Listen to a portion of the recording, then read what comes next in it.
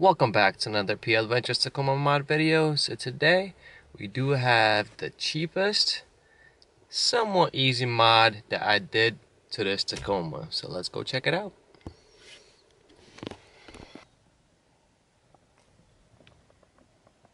It's the inserts.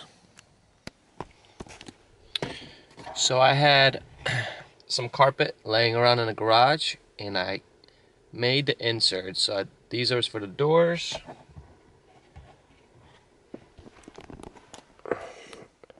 I did the one in the cup holder, the little compartment right here.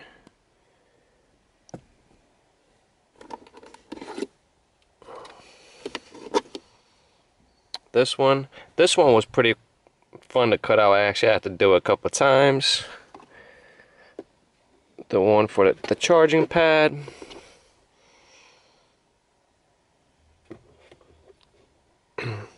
And the reason why I really like this mod is because look how clean it is underneath.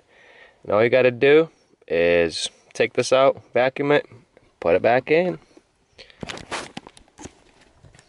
and it keeps it clean. So I know you could buy the inserts online. Um, I don't know how much they are, but like I said, I had extra carpet left over, so it was free for me, just a little bit of time. But I do love the mod, so that was my cheapest but most efficient mod so far.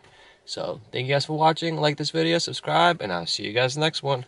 Peace.